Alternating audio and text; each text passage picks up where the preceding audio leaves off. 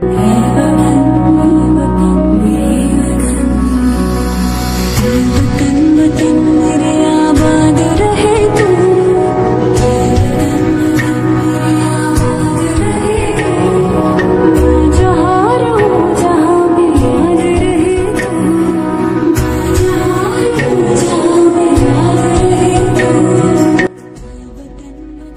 132 K V A Manori power house, Kaushambi के junior engineer Harendra Ram ने सभी देशवासियों व जनपद वासियों को गणतंत्र दिवस की हार्दिक बधाई व शुभकामनाएँ दी और कहा कि सभी लोग देश हित में बिजली की बचत करें।